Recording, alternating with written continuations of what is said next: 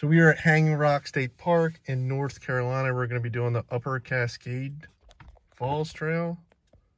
Um, so we'll see how this is. So the Upper Cascade Falls and Rock Garden. I think we go this way. All right, let's go see this rock garden.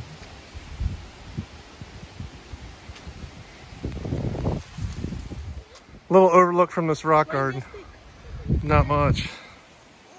Here on top of this small rock outcrop, but not a whole lot. So we're gonna continue on, go to the falls. So here's this little rock garden we're traversing through.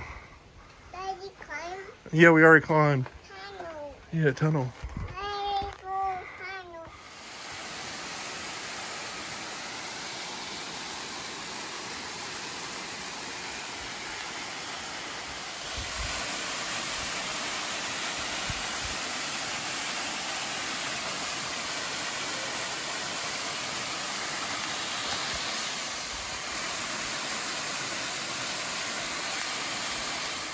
So we're at Upper Cascade Falls here in Hanging Rock Park in North Carolina.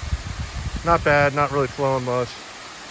But uh, you can get down there, but there's people down there hogging up all the space like usual.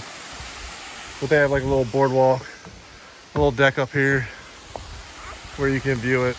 Here we are on the top boardwalk here.